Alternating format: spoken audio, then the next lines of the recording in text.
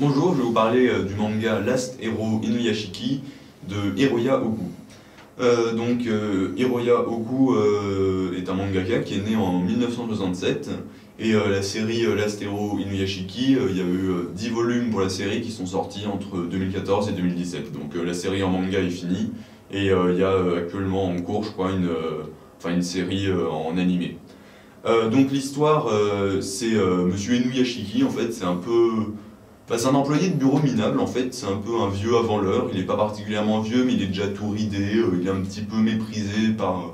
par tout le monde, enfin c'est pas quelqu'un de brillant quoi, c'est un employé de bureau euh, comme de tous les jours, euh, un peu, ben, il a déjà des rhumatismes, il est déjà tout ridé, bon, il n'a pas une vie incroyable quoi, et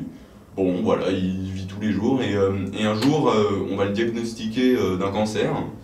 il va être complètement désespéré, euh, déjà qu'il avait une vie déjà pas marrante tous les jours avant, et alors là c'est encore pire. Et du coup, euh, bah, il va s'enfuir en pleurant, totalement désespéré dans un parc. Et là, euh, il y voit un, jeune garçon qui a l'air un peu perdu comme lui aussi. Mais avant qu'ils aient pu échanger un mot, en fait, il y a une lumière aveuglante qui se produit. Et quand il se réveille plus tard, c'est devenu en fait un robot avec une force surpuissante. Voilà, il a des capacités hors normes, hein, des capacités d'attaque, euh, il peut voler, il peut faire vraiment plein de choses, euh, il est presque invincible il a même des pouvoirs de régénération des, autres personnes, du coup un robot très très puissant. Et du coup, il va, maintenant que c'est devenu quelqu'un d'assez extraordinaire, il va un peu mettre ses, talents euh, au service de la bonne cause, disons, il va se mettre à sauver des gens, à aller arrêter des assassins, des criminels avec ses nouveaux pouvoirs. Mais le problème, c'est que l'autre garçon qui était dans le parc, il va découvrir ses nouveaux pouvoirs aussi, et il va peut-être pas les utiliser de la même manière. Voilà, j'en dis pas plus. Euh, du coup, moi j'ai vraiment aimé, euh, j'ai vraiment beaucoup aimé ce manga. Déjà, il est très bien dessiné, je trouve les dessins ils sont vraiment très beaux, donc euh, chapeau à l'auteur parce que franchement les dessins sont plaisants, c'est très agréable, ça fait, c'est vraiment très agréable à lire, j'aime beaucoup les dessins. Bah, L'histoire est super, je trouve, parce que elle est très intéressante sur en gros les responsabilités que les grands pouvoirs impliquent et du coup le choix qu'on a de d'en faire euh, quelque chose de bien ou de mal. Euh, il y a un peu également une, critique euh, de la société qui est mise aussi, parce que finalement les deux, personnages qui sont devenus les robots les plus puissants de l'humanité, bah, au départ c'était juste un vieux, un vieux employé minable, et l'autre c'était un garçon un peu perdu qui n'était pas, pas intéressé par les mêmes autres choses que les gens.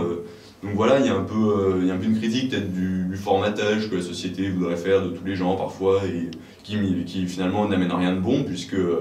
euh, bah, celui qui va le jeune garçon va utiliser ses pouvoirs euh, pour, pas pour faire le bien, disons. Donc euh, voilà, l'histoire est vraiment prenante et tout, il y a beaucoup de suspense, il y a des scènes assez marrantes aussi, parce qu'au début, le, le, vieil homme ne contrôle pas ses pouvoirs, il sait pas trop comment les déclencher, du coup il se déclenche automatiquement parfois, et du coup ça arrive qu'il mette 40, 40 yakuza de la mafia à terre, sans qu'il ait fait exprès, disons, parce que ça se déclenche automatiquement, donc il y a des scènes assez marrantes.